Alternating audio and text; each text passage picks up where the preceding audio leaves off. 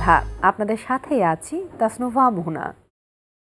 প্রিয় দর্শক শ্রোতা, সবাইকে আমন্ত্রণ জানাচ্ছি শুভ সন্ধ্যার আজকের আয়োজনে।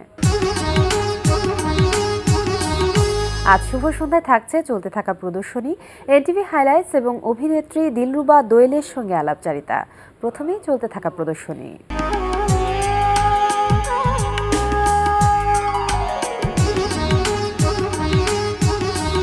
জানিয়ে দিচ্ছি, চলতে থাকা উৎসব ও প্রদর্শনীর সময়সূচি। বাংলাদেশ শিল্পকলা একাডেমিতে অনুষ্ঠিত হচ্ছে বাংলাদেশ সাংস্কৃতিক উৎসব দু হাজার বিশ।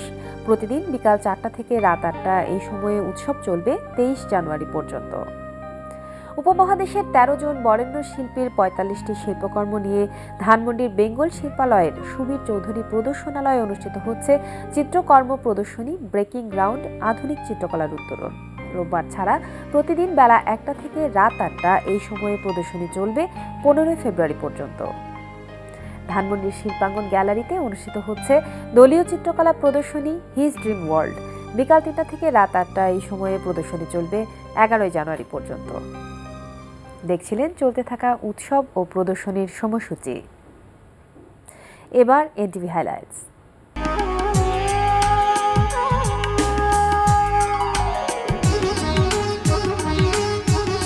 জানিয়ে দিচ্ছি কি কি থাকছে এনটিভির আজ রাতের অনুষ্ঠান সূচিতে। সন্ধ্যা ছয়টা পঁয়তাল্লিশ মিনিটে থাকছে।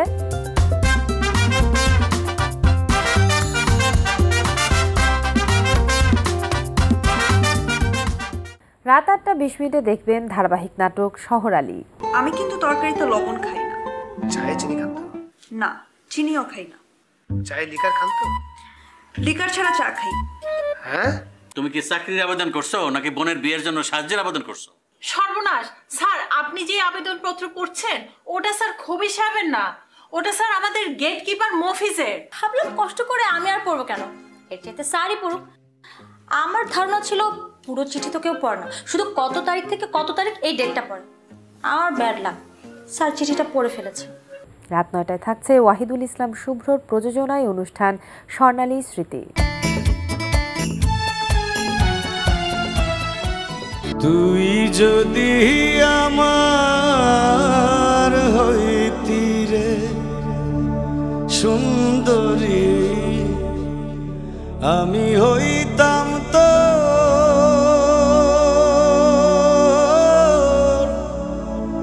বুকেতে জড়াইয়া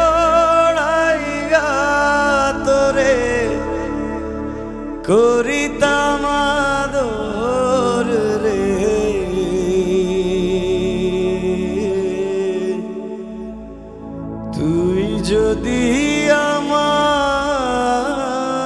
হইতি রে রাত নয়টা পঁচিশ মিনিটে থাকছে জাহাঙ্গীর চৌধুরী ও কাজী মোহাম্মদ মুস্তফার পরিচালনায় reality show Haso season five What an ambience! Wow! Wow! Fantastic! Hello viewers সবাইকে ওয়েলকাম করছি ক্রিকেটের একেবারে ব্র্যান্ড নিউ সংস্করণ টি ফাইভের মঞ্চে মার্শাল প্রেজেন্টস হাস হতে। কয়টা বাজে? আমি তো এই ঘড়ির তো কাটাই নাই রে। এখন আপনার সময় জ্ঞান হইল না। বাবা আপনি কি সাধু বাবা? আমি সাধু বাবা। এই কি করছেন? আমার হাত ধরছেন কেন? আপনারা সাধু বাবা? আমি বাবা কিন্তু সাধু না। সেদিন শপিং মলে এক কাপড়ের দোকান সামনে দাঁড়িয়ে আছি। এক মেয়ে এসে আমার শার্ট টানতে করেছে ভালো লাগছে? প্যান্ট টানতে করেছে ভালো লাগছে? আমি বললাম এগুলো কি কন? মেয়ে ও মা ডল দিয়ে আবার কথাও কয় ভালো লাগছে। রাত সাড়ে এগারোটায় থাকছে জাহাঙ্গীর চৌধুরীর প্রযোজনায় সঙ্গীতানুষ্ঠান মিউজিক অ্যান্ড রিদম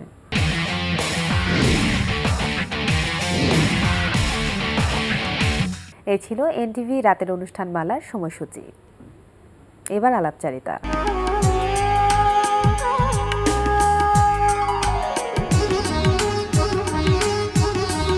দর্শক আমাদের আজকের অতিথি অভিনেত্রী দিলরুবা দোয়েল। চলুন কথা বলি তার সঙ্গে। শুভ সন্ধ্যা। শুভ সন্ধ্যা। কেমন আছেন? এই তো খুব ভালো। আপনাকে দেখেও খুব ভালো লাগছে খুব ফ্রেশ লাগছে আজকে। শুরু থেকে একটু শুরু করি। কারণ দোয়েল খুব নতুন ইন্ডাস্ট্রিতে এসেছে এবং নতুন ইন্ডাস্ট্রিতে এসেই অনেকগুলো কাজ করে ফেলেছে। শুরুটা কি করে হয়েছিল? মডেলিং ক্যারিয়ারে শুরুটা হয়েছিল আসলে প্রথম আলোর নকশার কাভার দিয়ে। সো ওটা আমার খুবই হুটহাট করে করা। তো তারপরেই কীভাবে জানি মানে একে একে সব মানে আড়ং থেকে শুরু করে সবার সাথে ফটোশ্যুট এর মাঝখানে আমি আসলে একটা অডিশনের কল পাই। মানে ভিজুয়াল মিডিয়ায় প্রথম কাজ যদি আমি বলি, নাসিরুদ্দিন ইসুফ বাচ্চু স্যারের অফিস থেকে যে ওনারা একটা ছবি করবে, তো ওই ছবির ফিমেল ক্যারেক্টারটার জন্য। তারপর আমি যথারীতি অডিশন দিতে যাই এবং অডিশন দিতে গিয়ে যেটা হয় যে আমার আসলে প্রথমে ভাষাটা আমি তো আসলে রংপুরের মেয়ে তো আর আমার কোনো রকম কোনো থিয়েটার ব্যাকগ্রাউন্ড নাই। বা অ্যাক্টিং এর উপর কোনো ইনস্টিটিউশনাল মানে আমার কোনো কোনো শিক্ষাই নাই। নাই। আচ্ছা। তো তখন তো আমি একটু নার্ভাস ছিলাম। কিন্তু তারপরেও থাকে না যে আমি অডিশনটা দেই অডিশনটা দেওয়ার পরে আমি বলি যে আমি আসলে অন্য কোনো ভাষায় কথা বলতে পারব না মানে অন্য কোনো অঞ্চলের আঞ্চলিক ভাষায়।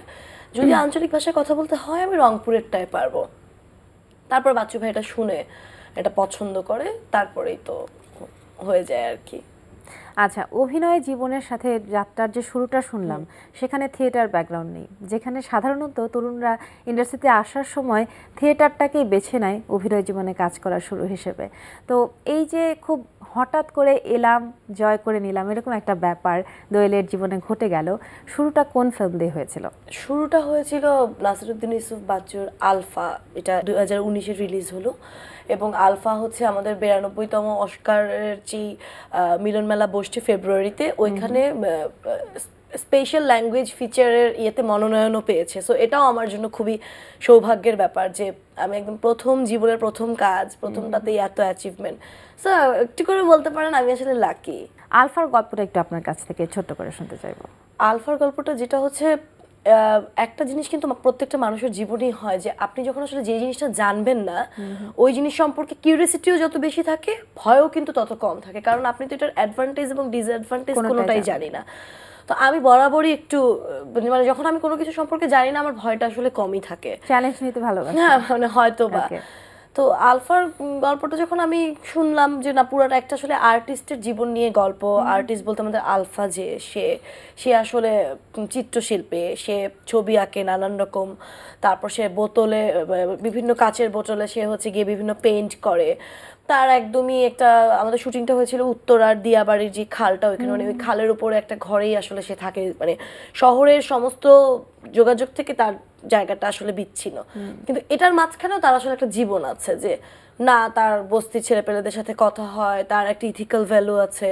ইভেন ইন সাম এক্সটেন্ট তার জীবনে আসলে প্রেমও আছে। কারণ আমি আসলে গোলেনুর ক্যারেক্টারটা করেছি। আমি আসলে মানে ওই বস্তিতে ঘুরে ঘুরে ভাত বিক্রি করে যারা টিফিন ক্যারিয়ারে করে যে বিভিন্ন কর্মজীবী মানুষকে আসলে ভাতটা পৌঁছায় দেই আমি। এবং আমার জীবনের আসলে একটা অপূর্ণতা ছিল যে আমার যে হাজব্যান্ড ছিল ওখানে আসলে আমার কোনো রকম বাচ্চা কাচ্চা হচ্ছিল না। কিন্তু সোসাইটি সেটার জন্য আমাকেই দোষ দিচ্ছিল যে আমার প্রবলেম বা আমার হাজব্যান্ডও বকা দিচ্ছে যে বাচ্চা হচ্ছে না আটকুড়া বাজা।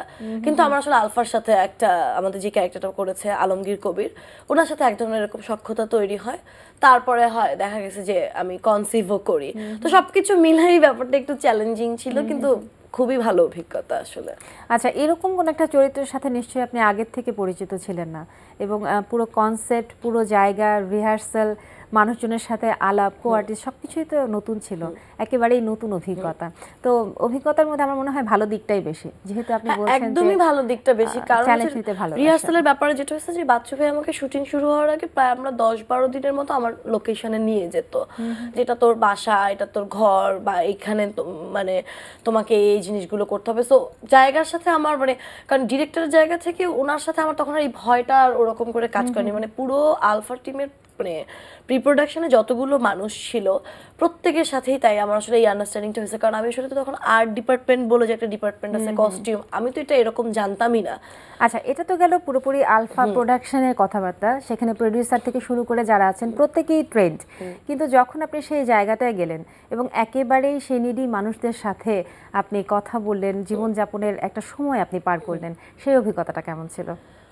এই অভিজ্ঞতাটা আমার জীবনে আসলে মানে শুধু আলফার ক্ষেত্রে না, বরাবরই খুব ভালো। কারণ আমি মানে সবসময় আমি যেই অঞ্চলেই যাই না কেন, এমনি ঘুরতে গেলেও আমি আসলে এই টাইপের মানুষগুলোর সাথেই মানে মেশা, কথা বলা বা কমিউনিকেট করার চেষ্টা করি। যে আমি একটা নতুন, না আমি সেদিন যেমন পাবনা গেলাম তো ঘোরাফেরার পরে আমার কাছে মনে হচ্ছে চায়ের দোকানটায় বসছি। চায়ের দোকানটা আসলে একটু ওরকম হবে। খুবই লোকাল পিপল খুবই নিডি পিপল ওদের সাথে গল্প করব। ওরা আসলে কি মানে আমার আসলে ওদের সাথে মিশতে ভালো লাগে। এটা ছোটবেলা থেকেই লাগে। সো আর আমি যে বস্তিতে কাজ করেছি ওখানে নাইনটি পার্সেন্ট লোকই আসলে রংপুরের। সো আমি যখন রংপুরের ওখানে আচ্ছা। আমার ওদের সাথে মিশে যেতে মানে খুব এক ঘন্টাও লাগেনি। আচ্ছা। তো সব মিলিয়ে আলফার অভিজ্ঞতা নিঃসন্দেহে দারুণ ছিল আমরা বুঝতেই পাচ্ছি এরপরে তো কাজ এগিয়ে চলেছে ভালো ভালো কাজ করেছেন কাজ করে যাচ্ছেন। পরবর্তী কাজ কোনটি ছিল? পরবর্তী কাজ ছিল চন্দ্রাবতী কথা। চন্দ্রাবতী কথা ডিরেকশন দিয়েছে হচ্ছে এন রাশেদ চৌধুরী। আর চন্দ্রাবতীও অনুদানের ছবি সাথে বেঙ্গল মিডিয়া যেটা ছিল ওদের কো প্রডিউস তো চন্দ্রাবতী কথার চন্দ্রাবতীটাই আমি আসলে করি। তো চন্দ্রাবতী কথাটা বলতে গেলে চন্দ্রাবতী কথাটার সময় আমাকে আসলে অনেক বেশি পরিশ্রম করতে হয়েছে। মানে তখন তো আসলে আমি অলরেডি একটা কাজ করে আসছি কাজের মাধ্যমটা বুঝি বা লাইবিলিটিসও অনেক বেশি এবং চন্দ্রাবতী যে ক্যারেক্টার আমরা সাধারণত ধারণা করি এই উপমহাদেশের প্রথম মহিলা কবি বলতে আমরা চন্দ্রাবতী যিনি ওনাকেই বুঝি এবং আপনার কাছ থেকে এক্সপেকটেশনটা অনেক বেড়ে গেছে এক্সপেকটেশন এবং ততক্ষণে। সবচেয়ে বড় কথা চন্দ্রাবতীকে কখনো আসলে তো দেখিনি তো রাশেদ ভাই যেটা করতো যে ময়মনসিংহ গীতিকার কিছু বই তারপর নানান রকম পুঁথি এগুলা উনি কালেক্ট করার চেষ্টা করতে করতে হয়েছে। হ্যাঁ এটাতে রাশেদ ভাইয়ের পুরো টিম মানে প্রচুর স্টাডি করেছে। কারণ ওই সময় আসলে কাপড় কীরকম পরতো জুয়েলারি কীরকম হতো এবং এই মানে সেই ষোলোশো শতাব্দী ওই সময় যদি আমরা চিন্তা করি অলমোস্ট চারশো বছর আগে এই সময় একটা মেয়ে এত একটা চ্যালেঞ্জিং যে না তার আসলে সে যে পছন্দটাও করেছে ওটা আসলে ঠিকঠাক মতো সোসাইটিতে স্ট্যাবলিশ হয়নি। এবং ও আসলে আর এটার মধ্যে থাকবে না। ওর মতো করেই মানে আইবর থাকবে মানে আজীবন কুমারী থাকবে বা পূজা করেই জীবন কাটাবে। তো চারশো বছর আগে একটা মহিলার কি পরিমাণ মানসিক শক্তি থাকা দরকার ছিল? যে ও আসলে ওর বাবা মাকেও ব্যাপারটাতে মানে প্রতিবাদ করতে পারছে যে না বাবা। প্রতিবন্ধকতাটাও অনেক বেশি অনেক বেশি ছিল না মানে এখনই দুই হাজার বিশেই আমরা যত প্রতিবন্ধকতায় পড়ি তখন তো আরও বেশি। তো ওই জায়গা থেকে আমাকে প্রতি মুহূর্তেই খুবই ভাবতাম আমি আসলে। কিন্তু ফাইনালি আমি হ্যাপি যেটাতে রাশেদ ভাই বা পুরো টিমেরই আমরা ইভেন আমি একটা নাম না বললেই না আমাদের আর্ট ডিপার্টমেন্টে ছিল তরুণ তরুণদা তরুণ ঘোষ। সো তরুণদার কাছে আমি আসলে অনেক মানে আইডিয়া পেতাম।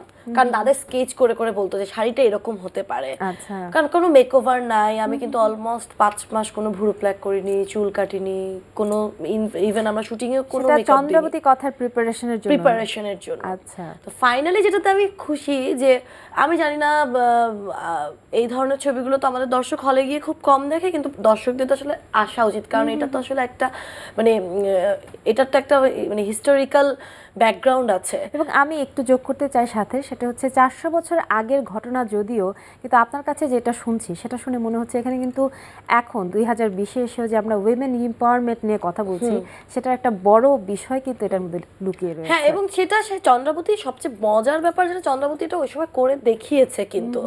হ্যাঁ আর আমি যে ব্যাপারে সবচেয়ে হ্যাপি বা রাশিদ ভাইয়ের উপর মানে ধন্যবাদের শেষ নেই যে এখন আসলে চন্দ্রাবতীর কথাটা যখন অলরেডি এটার প্রিমিয়ার হয়ে গিয়েছে লাস্ট আট আট নভেম্বর কলকাতা আন্তর্জাতিক চলচ্চিত্র উৎসবে। তো এখন বাংলাদেশে আসার পরে এর পরবর্তীতে আমি জানি না আর কবে চন্দ্রাবতী হবে কিন্তু চন্দ্রাবতী বলতে কিন্তু লোকে আমাকে চিনবে। যে না আমি তো এটা মানে এতদিন তো আমাদের কোনো ভিজুয়াল ফুটেজ ছিল না যে চন্দ্রাবতী আসলে কেমন হতে পারে। আচ্ছা। তো আমার মনে হয় যে এরপরও যদি একশো দেড়শো বা পঞ্চাশ বছর পরে কেউ বানায় তো তখন একটা রেফারেন্স থাকবে। ওই জায়গা থেকে আমি খুব হ্যাপি এবং নিঃসন্দেহে বোঝাই যাচ্ছে আপনার কথা শুনে যে আপনি নিজেকে অনেক ভাগ্যবান মনে করছেন যে চন্দ্রাবতীর মতো একটা চরিত্র আপনি প্লে করতে পেরেছেন আপনার লাইফে তো শুরু থেকেই আসলে ভালো ভালো কাজের সাথে এই যে সম্পৃক্ততা এটাও তো আসলে কোনো না কোনোভাবে ভাগ্যেরই একটা খেলা। একদমই পুরোটাই। এবং তার পরবর্তীতে আরও কাজ করেছেন আপনি। সেই কাজের কথাগুলো একটু তার পরবর্তী আমার রিসেন্ট একটা কাজ গেল সেটা হচ্ছে ইতি তোমারি ঢাকা। ইতি তোমারি ঢাকা তো এগারো জন ডিরেক্টরের এগারোটা গল্প নিয়ে। তো আমি মীর মুকাররম হোসেন আমার ডিরেক্টরের নাম। তো সব তো রাতেরই গল্প বেশিরভাগ। তো এটা আবার ইমপ্রেসারি আমরা ধর- মানে এটা হচ্ছে বাংলাদেশের প্রথম কি অমনিবাস চলচ্চিত্র আর কি যে ছোট ছোট গল্প নিয়ে এগারোটা গল্প একসাথে। সে এটার অভিজ্ঞতা ভালো। কেন এটার অভিজ্ঞতা ভালো? আমি এই জায়গাটা থেকে যদি একটু করে বলতে চাই আমি জানি না দর্শকরা যারা ইতি তোমারই ঢাকা দেখেছে কারণ অলরেডি আমরা এটা একটা ব্যাপক সাড়া পেয়েছি। কারণ আমাদের রংপুরের শাপলা টকিজেও এটা চলেছে এবং ওখান থেকে আমি অনেক ফোন পেয়েছি যে না কারণ আমার অঞ্চলের মানুষ তো আসলে হলগুলো তো বন্ধ হয়ে যাচ্ছে। এবং আমাদের হলে আমার যেমন আলফার সময় আমরা আসলে শাপলা টকিজ পাইনি।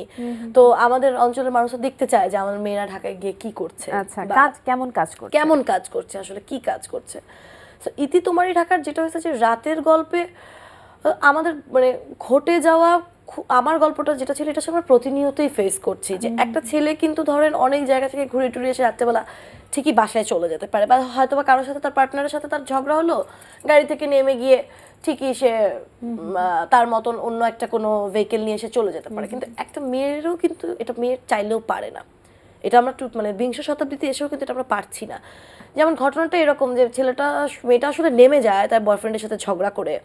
এবং মানে এসে একটু অন্য মনস্কও থাকে। তো অন্য মনস্ক থাকার পরে তাকে কিন্তু আসলে ছিনতাইয়ের কবলে পড়তে হয়। এবং আসলে দুইটা ছেলে ছিনতাই করে নিয়ে গেল কিন্তু একজন ভালো আছে যে ওকে আসলে সেফ করবে।